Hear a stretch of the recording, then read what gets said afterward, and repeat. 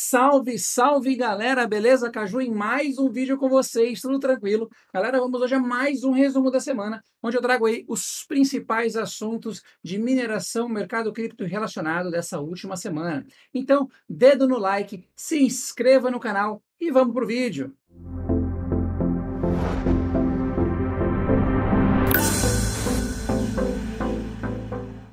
Começando aí, vamos falar sobre a CoinEx, é isso aí, a CoinEx que havia sido hackeada, né? Detectou ali uma falha de segurança, muitas moedas foram desviadas e tudo mais. A CoinEx voltou a reestabelecer os seus serviços, é isso aí.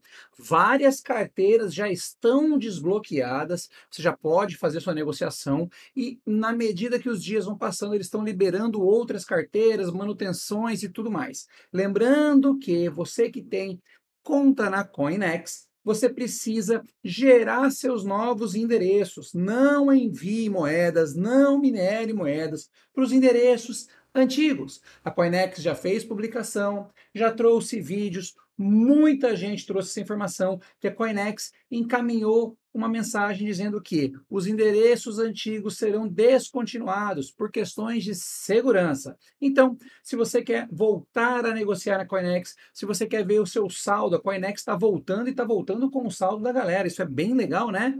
Vá à Coinex, gere suas novas carteiras e a partir daí pode fazer a utilização. Ah, não confio mais. Bem, pegue suas moedas e procure um local que você confie no lugar da Coinex, beleza? E essa semana agora gravei um vídeo, deixar aí no card para vocês, explicando o funcionamento do GPU Utopia e muita gente, pô, não está funcionando, galera.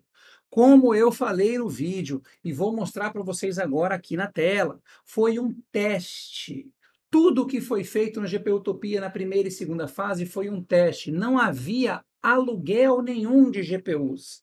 Era simplesmente próprio GPU Utopia, os próprios desenvolvedores do GPU Utopia que estavam bancando aqueles satoshis de uma carteira para desenvolvimento. Eles mesmos no site deles falam isso eles estavam mandando trabalho para todo mundo conectar-se a cada 15 segundos e explicam isso detalhadamente. Então, não tem como calcular a rentabilidade. Por quê? Porque agora, na terceira fase do site, que eles estão dizendo que vai vir em breve, já era para ter vindo pelo que eles tinham falado, né? Tem um atraso, eles vão começar a vender o processamento. E aí sim, quem conectar no site para vender a sua placa de vídeo vai estar tá recebendo o valor de alguém que está comprando o processamento. E aí teremos uma noção de rentabilidade. Por quê? Porque vai ter que ter demanda para ter a venda de processamento. Então, primeira e segunda fase, aqueles 6 satoshis a cada 15 segundos, 20 segundos, aquilo não era o site funcionando propriamente da forma que tem que funcionar. Era um teste de desenvolvimento. Se você conectasse, não importa se não tivesse ninguém comprando nada no site deles, eles estavam pagando você a cada 15 segundos, a cada 20 segundos. Então, vamos aguardar aí a fase 3 e ver se essa rentabilidade vai ocorrer ou se vamos ter o mesmo problema de Clor AI, Vast AI e outros sites de aluguel de GPUs que não existe uma demanda que supre a quantidade de oferta de GPUs que tem no marketplace. Mas vamos aguardar, muita calma nessa hora e assim que tiver uma novidade eu trago para vocês. E seguimos aí com aquele teste que começamos, né, na semana passada de Nice Hash e XDAG Pool. Respondendo algumas perguntas já, Caju, por que, que você está minerando XDAG e não uma moeda né, de outro algoritmo? Bem, seria muito interessante eu minerar qualquer algoritmo e comparar com Nice Hash. Mas o que eu queria mostrar para vocês era um comparativo do mesmo algoritmo porque outros algoritmos envolvem muito mais fatores. A NiceHash está minerando RandomX, né? Então, eu peguei da relação de RandomX o que estava pagando mais, né? Mas nesse momento existe aqui, ó, RTC, VARS, Kite, GPRX, FSC, praticamente todas as moedas Ghost Rider estão pagando mais no momento. Mas eu preferi pegar o quê? Colocar ali os 19.7 kHz, né? E ver a moeda que pagava mais no dia e pegar ela para manter no teste, e era a moeda XDAG. Inclusive, nesse momento, ó, 19.7 kHz está pagando mais XDAG do que na NiceHash na calculadora. Então a gente segue com esse teste, publiquei shorts todos os dias mostrando o comparativo NiceHash na frente, XDAI alcançando, NiceHash na frente, né? E vamos encerrar esse teste de sete dias para a gente ter uma noção e mostrar todas as conclusões dessa questão de que paga mais, paga muito mais, paga menos, paga muito menos, de uma vez por todas para vocês. Além do que mais já trouxemos sempre esse tipo de vídeo, né? Então tá aqui na hash até agora, ó. 25.26, né? Deu uma aumentada aqui na quantidade de satoshis e a minha carteira de XDAG 656.25 XDAG até o momento, né? Lembrando que esse valor em reais da NiceHash e o valor em reais de XDAG são diretamente ligados à cotação da moeda. Mas vamos ver na hora que fechar os sete dias certinho como vai ficar essa questão e o que mais eu posso trazer para ajudar vocês a entender esse funcionamento, beleza? E uma novidade que eu trago para vocês aí no site Juliano Caju, muita gente vinha pedindo aqui no menu, né? Calculadora de CPU, onde você vai fazer o quê? Colocar ali o hash rate dos algoritmos, ele te mostrar qual moeda paga mais para o seu hash rate Agora, a gente está permitindo selecionar mais de um processador. Você antes podia botar um processador e várias quantidades dele, e agora você pode adicionar todos os processadores que você quer, mesclando Intel com a AMD. Então eu venho aqui adicionar CPU, vou pegar aqui ó, Ryzen 9 3900. Ele já coloca o que faz aqui para mim nos algoritmos e mostra as moedas que estão pagando mais. Eu posso adicionar uma CPU, vim aqui pegar um Intel, né, um Xeon 2686, como é que eu tenho aqui, né? E aí ele vai somar aqui nos box dos algoritmos o que faz o total de hashes e ordenar para você as moedas em relação ao que está pagando mais pro seu hash rate. Isso é bom? Agrupar por total de hash rate?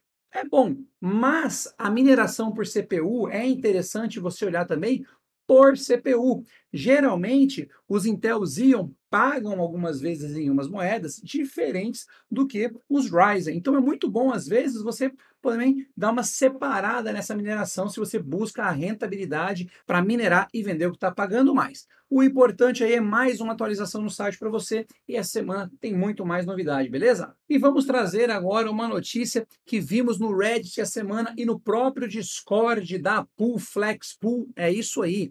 A Flex publicou que a partir do dia 1 de novembro estará offline. É isso aí, mais uma grande pool, uma pool que eu particularmente gostava muito, gosto muito, né? Não gostava porque ela não acabou ainda, gosto muito. Está encerrando. A Flexpool que estava mantendo ali Ethereum Classic, Ironfish e Shia vai parar de funcionar a partir do dia 1 de novembro de 2023. Declaração oficial a conta dela no Reddit postou isso, né?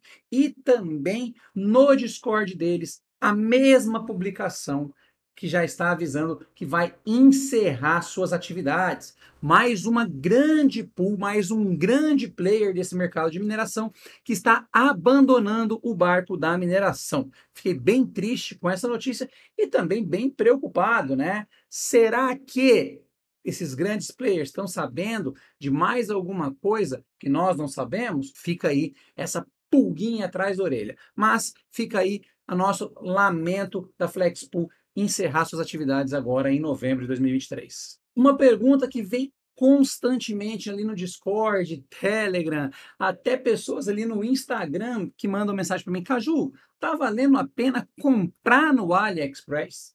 Galera, é o seguinte, a gente sabe dessas questões de tributação que ocorreram aí. A gente sabe que o governo colocou né, uma tributação acima de 50 dólares do imposto de importação mais ICMS, que totaliza ali 92% praticamente de acréscimo do valor, né? E abaixo de 50 dólares estão cobrando ali o ICMS. Beleza. Mas tem muita gente ainda que está comprando e não está sendo tributado. Por quê?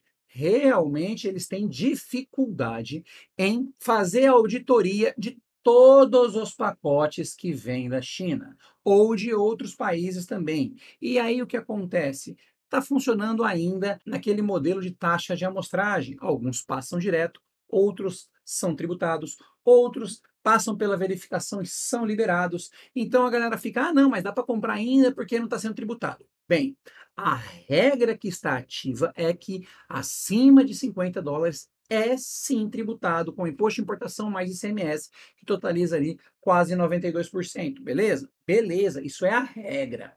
Se não está tributando, a sorte é de quem não está sendo tributado, beleza? Beleza. Mas digo para vocês que quando vocês forem comprar alguma coisa no AliExpress, comecem a olhar o preço do AliExpress já entendendo que ali tem um imposto. Não comecem a comprar coisas como já aconteceu pessoas ali no Discord conversando que compraram produtos no AliExpress, pagaram um preço legal aí no AliExpress e não tinham dinheiro para pagar o tributo. Cara, fui tributado num kit de placa-mãe, processador e fonte e não tenho dinheiro para pagar esse imposto e agora? Então, sugiro que, se vocês forem comprar no AliExpress, comparem com preços de produtos compatíveis aqui no Brasil e veja essa diferença. E segundo, já tenham em mente que vocês podem sim ser taxados e que esse imposto, caso seja acima de 50 dólares, vai fazer praticamente dobrar o valor. Isso é regra, está vigente e infelizmente no Brasil é assim. Tudo que ah, é uma nova lei, é uma nova regra, a gente sabe que nunca começa a funcionar 100% e causa todo esse alvoroço. E vamos aí para aquele quadro onde eu mostro que eu estou minerando, né? Estou aqui com os meus processadores, minerando XDAG, minerando XDAG para carteira de teste e RandomX Monero, na, naquele teste de rentabilidade entre Nice Hash e XDAG Pool, e nas placas de vídeo minerando Radiante com eficiência e ZIL, um dual, e com as AMDs Nimic e ZIL. São as moedas que estou minerando no momento e continua minerando ali Radiante com eficiência e ZIL e XDAG e RandomX Monero nos processadores. E o vídeo de hoje foi esse, mais um resumo da semana que eu trago para vocês, né? Nos últimos finais de semana, eu tô sempre gravando o resumo de semana aqui de casa, né? Tô tentando ficar mais dentro de casa o final de semana, já que é corrido pra caramba. Empresa, YouTube, live, durante a semana, final de semana, a gente tenta ficar no aconchego aqui de casa, dar atenção para a família, né? E não ficar tão ausente, né? Que aí a gente consegue conciliar canal com família, beleza? Seguimos aí fazendo mineração, fazendo testes, né? E aquele negócio, nem sempre o teste, para gente que faz o teste, é rentável. Minerar uma moeda que paga mais é muito melhor do que ficar minerando uma, duas, três moedas para ver qual delas está melhor no período. Eu poderia estar tá rentabilizando mais com tudo em uma moeda só. Só que a gente segue trazendo esses testes para mostrar para vocês como funciona esse mercado, para que vocês entendam como os testes devem ser feitos e como podem ser feitos para trazer resultados mais assertivos para vocês. Tentar tirar um pouco do que eu acho e mostrar realmente um pouco do que é para que vocês entendam bem essa questão de rentabilidade. Por isso que a gente segue com esses testes e temos equipamentos para isso. Se gostaram desse vídeo, deixe o seu joinha, deixe seu like para a gente saber que o conteúdo está agradando. Se não for inscrito no canal, se inscreva no canal e ative o sininho para receber notificações de novos vídeos, que ajuda muito o canal continuar entregando conteúdo e tendo acesso e crescendo cada vez mais. Passando aí na tela, galera, o endereço do nosso site www.julianocaju.com.br, maior portal de mineração que nós temos aí para a galera BR com overclocks, rentabilidade. A gente está sempre melhorando o site, sempre aprimorando com novas moedas, novos overclocks e novos funcionamentos para vocês, beleza? Passando aí na tela também nosso Discord, restrito aí a membros e apoiadores do canal. Galera, a gente vem trocando informações, tentando buscar alternativas para esse momento bem difícil da mineração. Então, considere aí, né, tornar-se membro do canal, utilizando aí Live Pix, YouTube, tendo acesso ao nosso Discord, apoiando o canal. Se quiser apenas apoiar o canal, vocês podem também utilizar nossos links de afiliados, cupons de desconto que ajudam o canal a continuar crescendo e trazendo conteúdo sempre para vocês, beleza? Tô ficando por aqui. Nos vemos no próximo vídeo, galera. E fui!